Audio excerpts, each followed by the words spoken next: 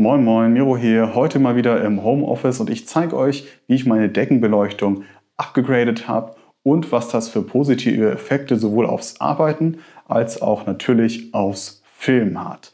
Und das habe ich gemacht mit dieser Glühbirne hier, mit der LED von Sansi. Ich hatte ja schon angekündigt, dass ich die noch vorstellen würde, wenn sie mir gefällt.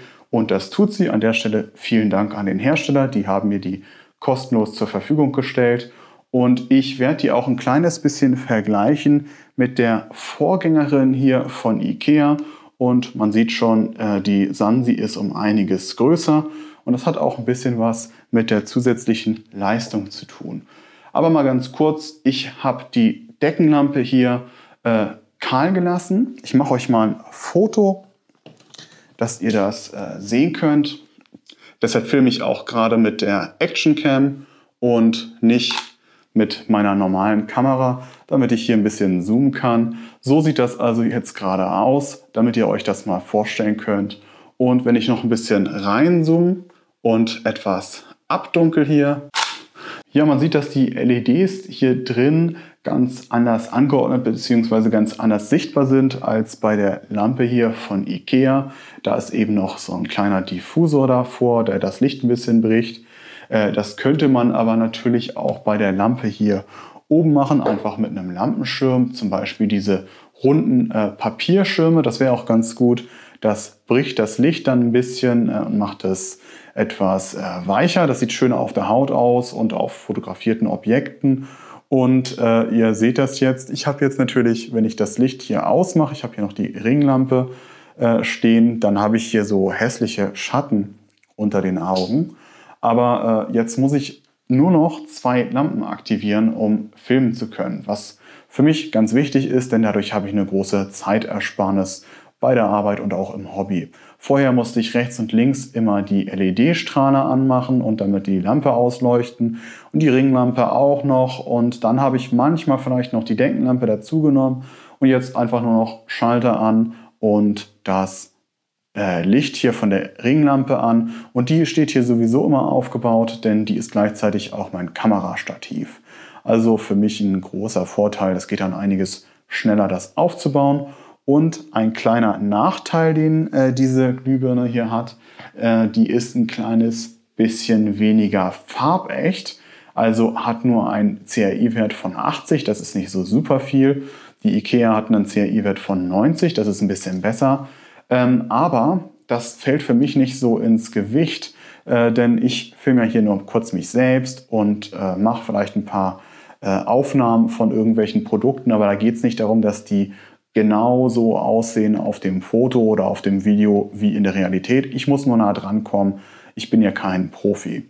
Und dementsprechend ist mir an der Stelle viel wichtiger, dass die Lampe viel effizienter ist. 22 Watt, 3000 Lumen, das ist extrem hoch von der Leistung, versus äh, bei der IKEA-Lampe äh, 16 Watt und 1521 Lumen. Das ist nicht ganz so gut.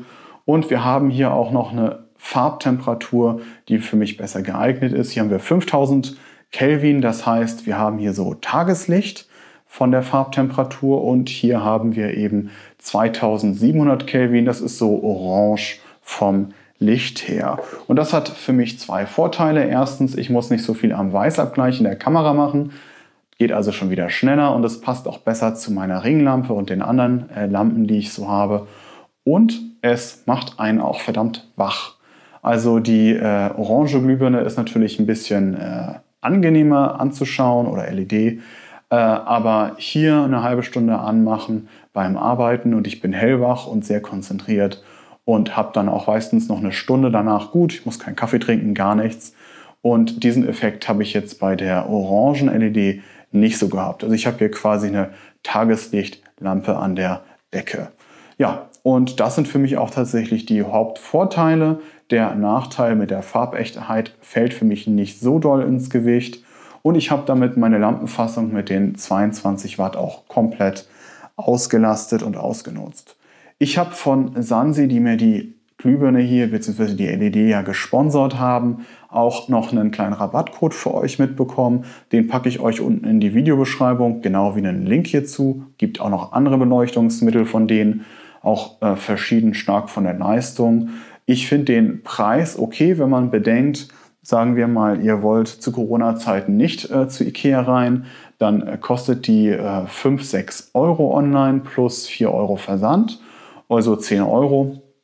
Und äh, die hier, da gibt es die im Zweierpack für 30 Euro. Das klingt erstmal viel, aber ich habe mir überlegt, äh, im Prinzip sind das dann ja 15 Euro pro LED versus 10 bzw. 14 Euro, also ungefähr das Doppelte.